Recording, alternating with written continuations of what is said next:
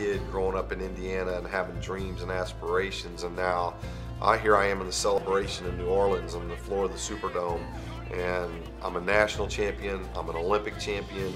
Um, I, I couldn't have dreamed of a better script to happen in my career. Steve, even though he wasn't a great NBA player, was an incredible college basketball player.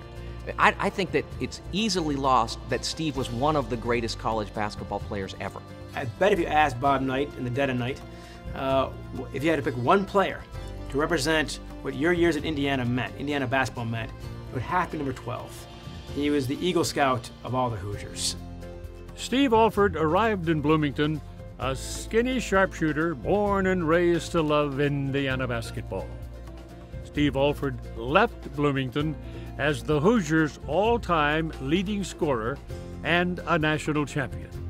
Even today, Steve Alford remains part of the basketball mystique in Bloomington.